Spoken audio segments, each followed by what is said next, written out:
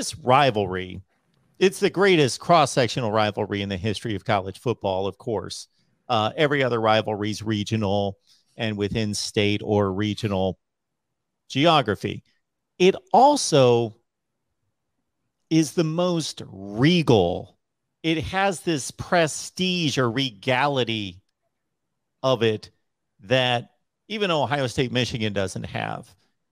Alabama and Auburn certainly doesn't have it. It just has this again, the, the term regal or royalty comes to mind about USC and Notre Dame being on the same field and and the series and the history and just the the schools, the institutions, and of course the football history involved. Well, do I, I get think, agreement there. Yeah, uh, you, you, do get agreement, and I think the the point that comes to mind is you know what's college football's signature setting? What is college football's signature bowl game? The Rose Bowl. And what is the Rose Bowl about? What has it been about? It's been about one team. Now it used to be from the South, not it wasn't necessarily the Midwest, but one team from a distant part of the country making the trek all the way across to the West Coast to play a game in the Arroyo Seco, uh, you know, in the shadows of the San Gabriel Mountains. Now, of course, when the game's in South Bend, it's the Western team making the pilgrimage to Indiana in the middle of autumn, the foliage, you know, the, the touchdown Jesus. But so it's this notion of pilgrimage, whether it's you know from you from Los Angeles east to South Bend, or whether it's from South Bend west to LA in late November. There is that kind of romance which you know the Rose Bowl introduced into college football at a very early point in the sport's history.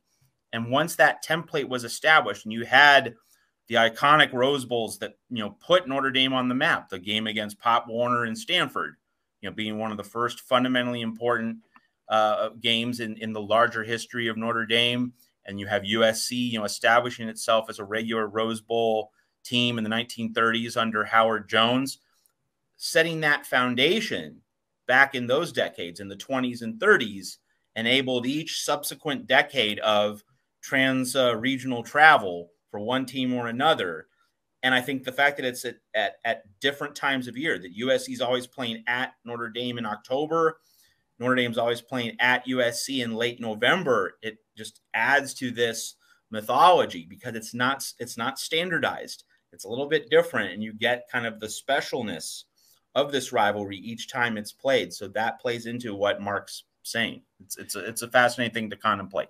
That last part is one part about I don't like.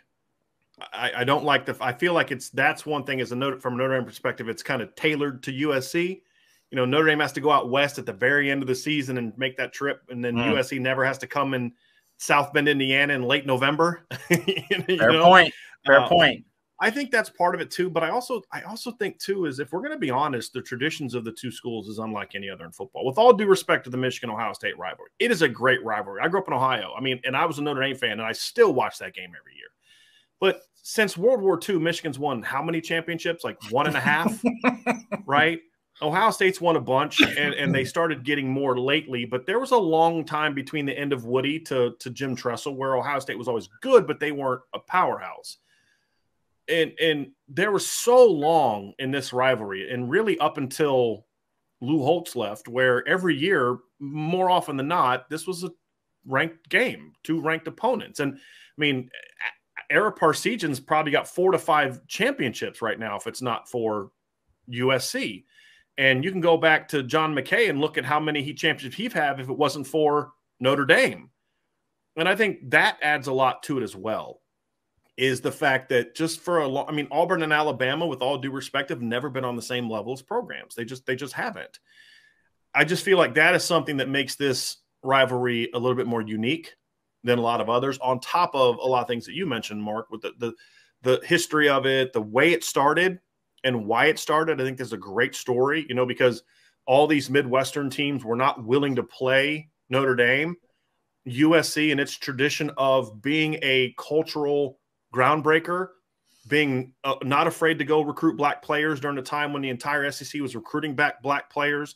There was a really cool scene in Woodlawn. I don't know if you guys seen the movie Woodlawn uh, that had USC playing Alabama, I believe, and they just smacked them. And USC had a bunch of black players, and that was one of those things that kind of opened up Bear Bryant's eyes to like, I need to kind of go do this, right? It was really cool. So it's a good movie, by the way, Christian movie. Mark, I think you'd like it. I don't know you well enough to know if you'd like it, but there's just you know, and then USC saying, "Hey, we'll play you."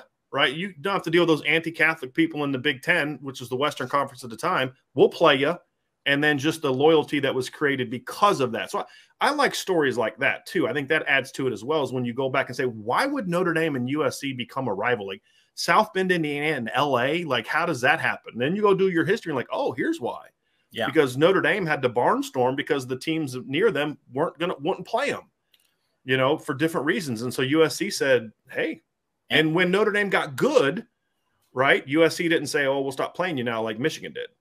And the other the other thing to note about the history and the origination of this rivalry is that Howard Jones, before going to USC, he was coached at Iowa and had a lot mm-hmm. of success there. So he mm-hmm. was Howard Jones was a Midwesterner, mm-hmm. you know, who then re, re uh, relocated to USC, but like he had a, an appreciation for what it meant for Notre Dame to be in its situation in South Bend. So Howard Jones, you know, made himself an icon at USC, but his his Iowa roots, uh, and he also brought Sam Barry, arguably the most important figure in the entire history of USC athletics. We have a, a, lot of archives on him at Trojans Wire. We wrote about him in 2020 when the pandemic hit and we didn't know if there was going to be any college football season.